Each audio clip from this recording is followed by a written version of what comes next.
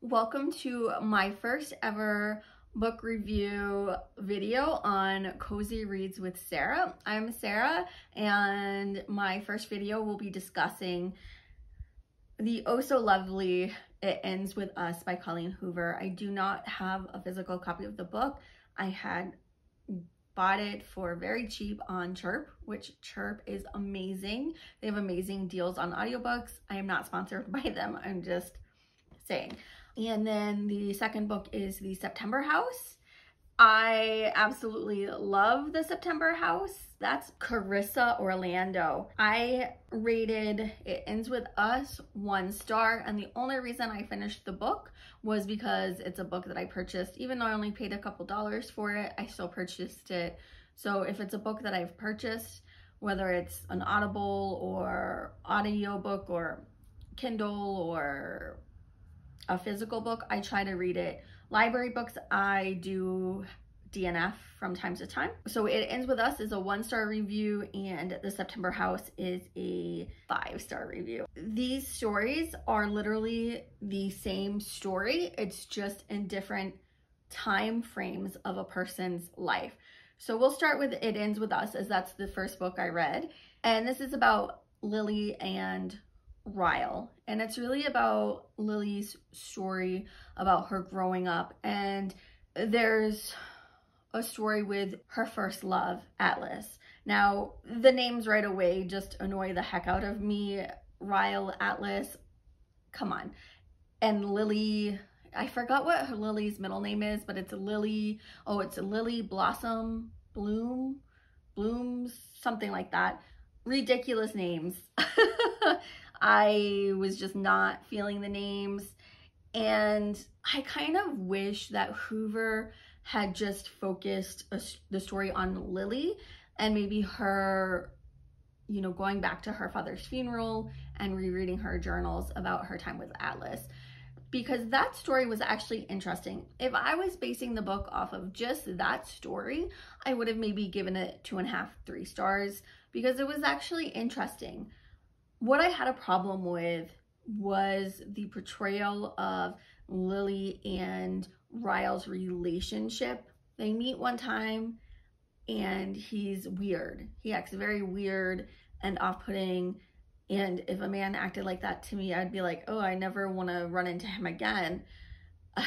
again, it's that whole Fifty Shades of Grey situation where if he wasn't rich, that behavior would not fly again, it comes down to class and it's just his behavior was gave me the ick. Uh, Lily is very naive. I know she's only 23, but she's super, super naive. When she, we're learning, seeing about her as a teenager, it's understandable. And she has a very traumatic childhood. And it's interesting that she goes from being like, I'll never let that happen to me, to she lets it happen to her. And she marries the guy. I just really had problems with Lily and even Atlas's relationship because she's a child and she's rescuing, she's saving this guy. Yes, you know, that's a great deed that she did, but that also, that relationship also kind of felt a little ugh to me as well. I mean, he was 18. She wasn't 18 yet. And she's helping this guy out. He's an adult. Legally, he's an adult. And she's sneaking him in her room. And it's, you know, it puts her in a really bad situation with a very scary alcoholic father who is very mean and is known to be abusive and throughout the book up until a certain point he doesn't hit let me say this so I don't get censored. He doesn't lay hands on Lily until a certain point and then uh, he does.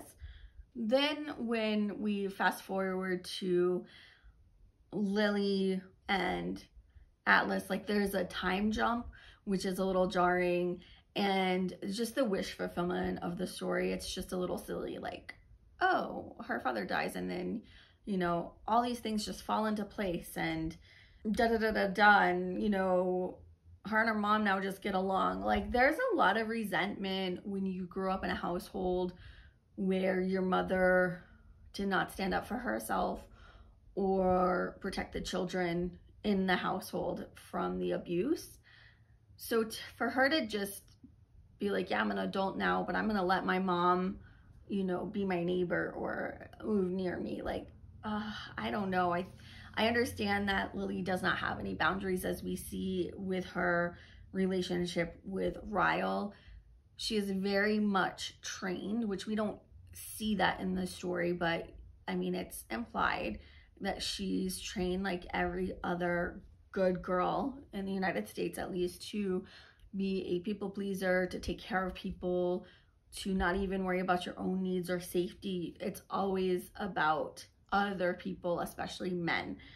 And that Ryle is a red flag, like I said from the beginning. He's being inappropriate. He's saying really cringe, disgusting things. She's already said, you know, I'm not that type of girl. Like, I don't just sleep with guys on the first date or the first time meeting. I'm not a one night stand kind of woman. Like, it's just disgusting. And he keeps kind of like every time he runs into her saying these things, propositioning her to sleep with him right away. And she's already set her boundary. And you know, when they finally, because it's a Hoover book and it's considered romance, when they finally hook up, it's so disgusting. It is so heteronormative and it's just like kissing and then they're doing it and she it's like amazing. It's like the best. It's the best she's ever had and she knew that the minute he slept with her, he was just going to be so addicted. He this commitment phobic narcissistic, damaged man is just gonna fall. He's gonna be whipped basically just from one time because she's just so magical and she's so addictive and she's really is a kind of drug that was used. Like, it's so disgusting. Ladies, please don't chase after men. And if you've turned a man down once, twice, three times, please don't. No, it's disgusting. It's a red flag a no is a full sentence and you shouldn't have to explain yourself. The spice is just, it's boring. It's male centered. It's male gay centered. It's, it's just really, there's nothing there. It's, I rated the spice a negative one.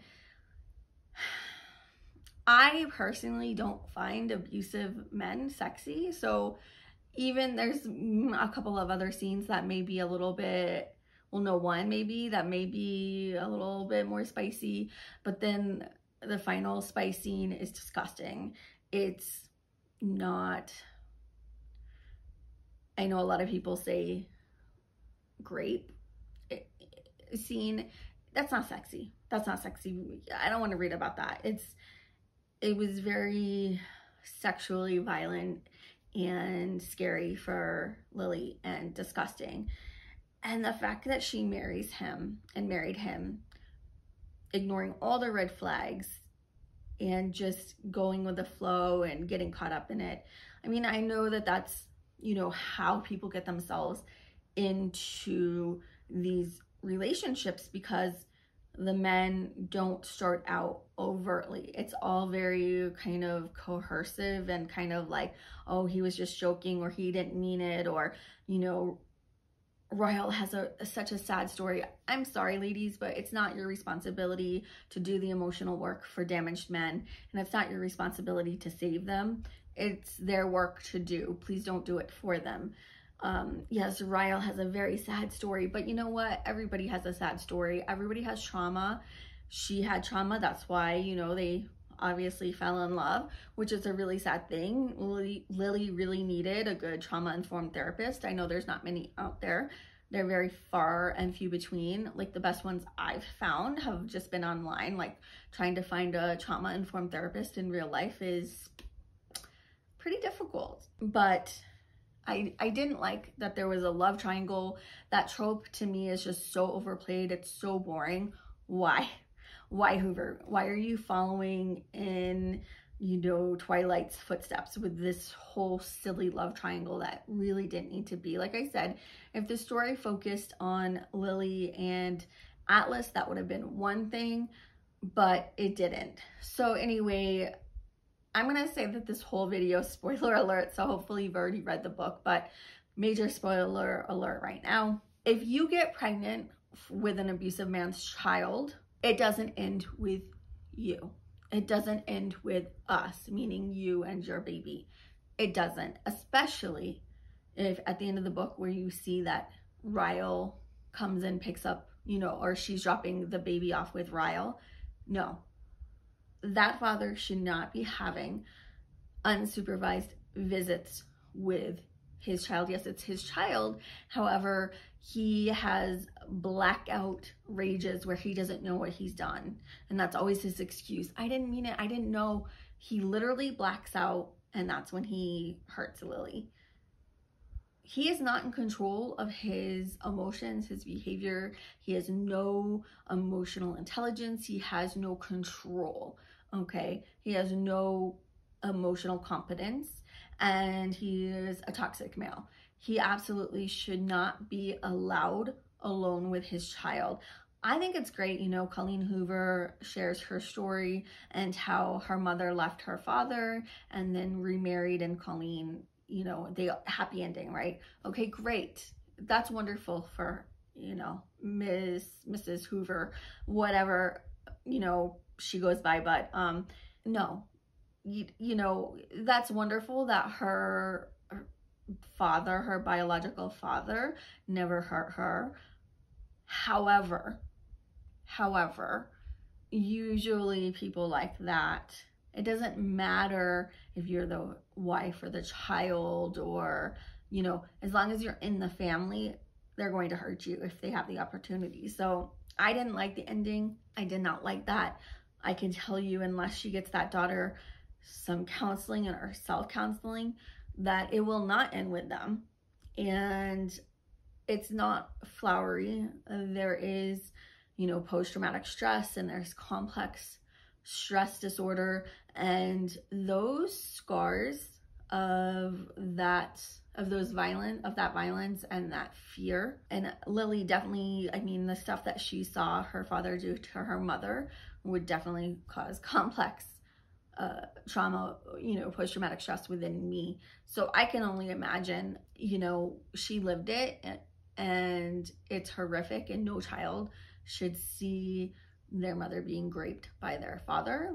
That's just inappropriate on every level and disturbing and not okay. And so it's just very scary to me that Colleen Hoover is putting this narrative out there that it's okay to let violent men near your children. That's not a good message. We do not want to be sending that out. I, think it's wonderful that she has it that though that Lily leaves him. That's wonderful. That's a great message. But let's start teaching young girls and young women and young adult women to look for the red flags and to not even entertain these abusive, emotionally immature men. It's not our job to save men. I love that women have the opportunity to make their own money, have credit cards, have savings and checking accounts, can start businesses. Lily had money. She had had her own house. She had her own means. She did not need to get married. There was no financial incentive. So at least there's that, you know, back in the 70s, women were like just barely being able to get a credit card in their name. You know, there's all these freedoms that ha- have just recently opened up in the last 50 years for women. I don't want to go back. And I think it's amazing that I see on social media young little children learning about bodily autonomy, learning that it's not their responsibility to save others. I hate that, you know. Don't tell little girls that if a boy is abusing her, harassing her, pulling her pigtails, or lifting up her skirt, that that means he likes her. No, that's disgusting.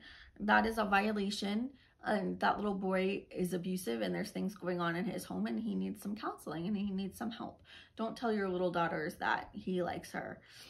I don't think that's going on anymore. I hope not, but uh, I'll get off my soapbox. Lily is just the ultimate like pick me, pick me. She's just so like, you know, cavalier about everything and I'm just so cringe. I I can't support going to see the movie. Uh I I just don't agree with the message and it just it just plays into notions that it's women's work to do the emotional labor in a relationship and no it's not so that is uh my review of it ends with us why i had such a like reaction to it it was just very triggering to me because there's so many things going on there's alcoholism there's domestic abuse there's grape there's stalking i mean ryle knocks on 29 doors to find Lily. He, she did not tell him where she lived. That is so terrifying. Stalking is not sexy. It's not romantic. Let's not normalize that. Let's not tell women and girl, girls and women that that's romantic. It's not. The September House is a gothic horror and I rated this five stars. It is everything that it ends with us should have been, could have been. This is literally about a couple in how do you say is it in the like October is it the September or the October of your life? They're nearing retirement age. They're they're older. They're older than a middle-aged couple. And they move to this to their dream house. It's a it's a beautiful gothic house.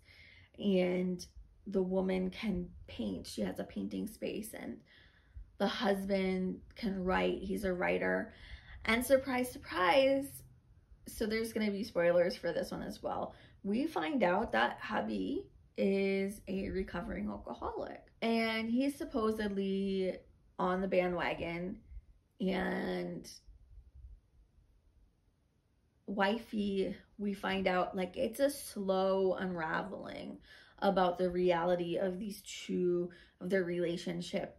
So she goes back and talks about their history. And again their relationship it started pretty quickly and it went moved pretty fast. And she got pregnant fast and had a daughter. So this one also had a daughter. And the abuse she just she describes it how it you know starts slowly and not very often.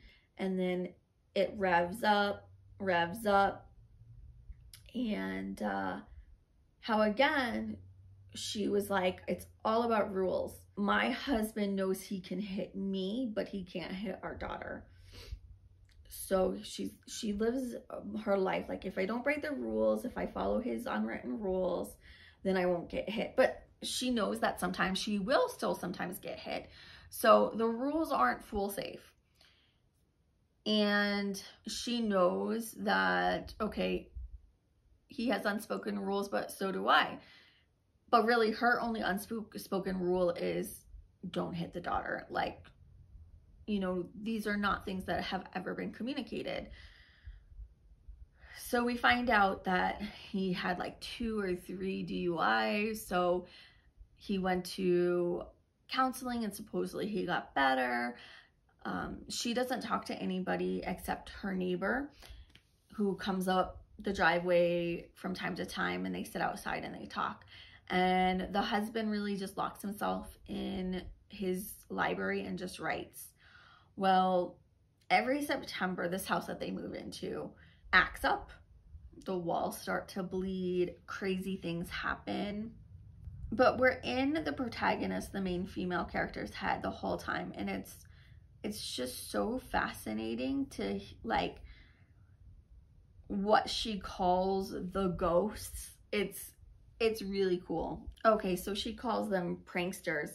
And so the pranksters just seem to be more characters of the house and she knows she learns quickly the rules of the house and Hal doesn't want to learn the rules of the house or play by the rules of the house and he just wants to leave. And Margaret, that is the main character, and that's whose head we're in while everything unravels. She doesn't want to leave. She knows the rules of her marriage, she knows the rules of the house. She is good with rules. She stays. She's like, I can't, I'm not leaving my marriage and I'm not leaving the house. So that really becomes the theme. But we see how this abusive marriage affects because at the with it ends with us lily just has the baby like it's a baby her child's a baby with the september house their daughter is all grown up so how margaret's husband goes missing at the beginning of september or in august actually i think before because he can't handle another september he can't handle the pranksters he can't handle the noises. He can't handle the bleeding walls. He's over it.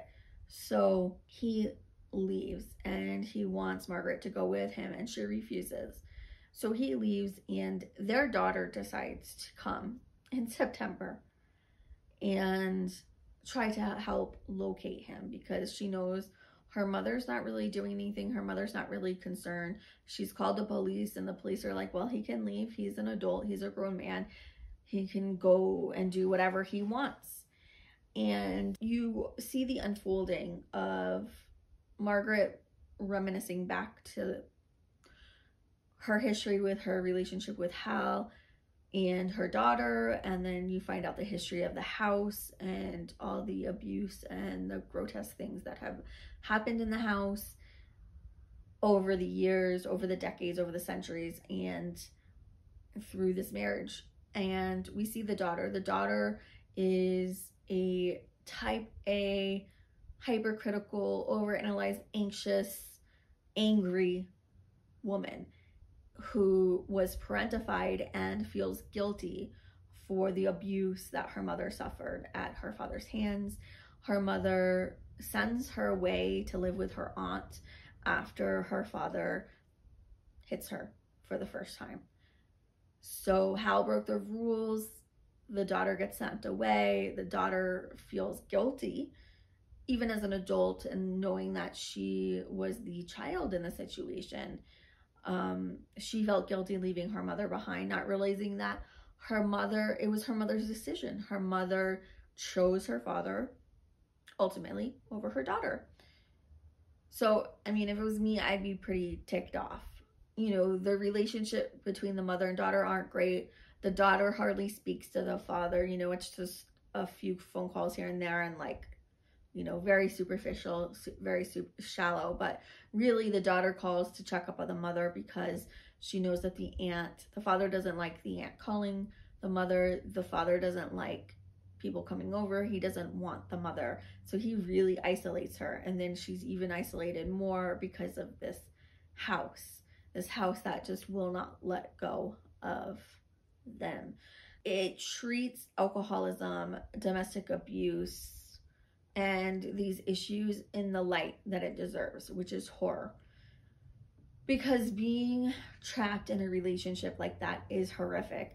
Now, this book is has graphic scenes and is very gory, but the tone of the book, even though it's a dark setting and the house is creepy, the tone is so light. You really get into the psychology of Margaret where, you know, you see how women are really taught to downplay things. And we're really not taught self-preservation. It's really not about putting safety first. It's all about making people comfortable, following the rules, being a good girl. Okay, so um, it was an interesting book to read. I didn't read it right after, but I read it like two books later after reading It Ends With Us. And it's such a refreshing horror novel because, like I said, it's horror and it's gory, but the the psychology and the backstory is so riveting. I really recommend that book. I also just finished this book called On Our Best Behavior, The Seven Deadly Sins and The Price Women Pay to Be Good by Elise Loehnen. I gave that book four stars. It took me a month to read. It's a slow read. It's very dense in its research and discussing how the seven deadly sins came about and that they're not actually in the Bible. And they're not even spiritual laws and how it's really used to control society, but especially women and keeping them in their place because these seven deadly sins don't really, they're not really there for men. It's more for women and how we need to re-examine and re-look at the seven deadly sins. It's a dense book. Like I said, it took me a month to get through. I gave it four stars. I wasn't really going to talk about this book right now, but it talks about how, you know, women are trained for goodness and following rules. And that's really what the seven deadly sins is, is about being a good girl rather than being a spiritual person or following spiritual laws or anything like that. So it's an interesting read um, that kind of goes in with the theme of everything I've been reading lately that we really need to learn to teach our daughters bodily autonomy, setting boundaries, saying no, not doing the emotional work or labor for other people, especially men, uh, really minding your own business, you know, live and let live, why are we as a society i really like this elise brings this up uh, in on our best behavior. Why are we so worried about other people's choices especially when they don't affect us you know especially when it comes to women's bodily autonomy with politics why are church people so worried about other people's souls? Not everyone has the same beliefs. Not everyone has the same religious background. Not everyone is a christian or monotheistic. I mean, there's Hindus and Jewish people and, you know, other Jewish law permits bodily autonomy in women. Uh, I think in Islam they do as well. Enforcing Christian rule on people. And it's not even Christian rule. It's, you know, because in early colonial times, women could terminate a pregnancy up until the quickening. And the quickening was when they could feel the baby kick. So this whole like trying to control women and women's bodies is a very new concept and it feels very American and it feels it's very icky. Like I know I keep saying icky a lot, but um it's just, it's just really frustrating. It's like when will women stand up and get mad enough and start demanding equality in health care and equality in our daily lives and equality you know we have equality pretty much in the workforce. I mean there's still some things but you know women are working you know and making money like i said and living their own lives and starting businesses and have their friends. But you know where is the healthcare and where is the research? Uh, where are women's rights? Like it shouldn't be this hard to be seen as a human being to be seen as a person rather than an object or a thing or only there to serve one purpose it, it's pretty sad anyway, this wraps up my portion of my book review. So on our best behavior, uh, The Seven Deadly Sins and The Price Women Pay to Be Good, four stars. The September House, five stars. Um, trigger warning, gore, alcoholism, domestic abuse, uh, child abuse. It ends with us. Trigger warnings is abuse, stalking, domestic abuse, grape, uh, child abuse, uh, and just really icky unsexy, you know, things of love. All right, so I live in Roswell, New Mexico. We do not have any bookstores, which is super sad. But I went to, it's called Books Again, and it's the uh, Roswell Library uh, you can donate your books there and make money for the library. So it was bag day. I don't know if y'all can see this. So we filled up this bag. I got a ton of movies and books for $5. So I've never heard of this. I love Sarah Michelle Gellar. I got Harvard Man, a thing of four movies of Alfred Hitchcock, which I've never heard of these. Jamaica Inn, Sabotage, The 39 Steps, and Easy Virtue, as well as Charade, which I've seen this one. This is also a movie by Alfred Hitchcock. I love Hitchcock films. We got Harlem Nights. I need to read this book, Never Let Me Go. I keep saying maybe I'll read it next, but I definitely need to read it now that we got the movie. And then Autumn in New York with Winona Ryder. I got Kabul Beauty School. And like, look at this. It's It looks like basically new. Like it's, it's in really good shape. White Heat, The Friendship of Emily Dickinson and Thomas Wentworth Higginson. I love Emily Dickinson. We went to see her house, her homestead in Massachusetts a couple years ago. And I just absolutely fell in love with her after watching the show Dickinson on Apple Plus. Freya. Three cups of tea. Now, I may already have this book, but I picked it up because, again, like, look at how good of shape it's in. And um, I love this author. Love his book. So, in case I don't have this copy, I picked it up. Talking about um, emotional intelligence, I got Emotional Intelligence 2.0 because we can all use a little bit more in emotional intelligence in our lives.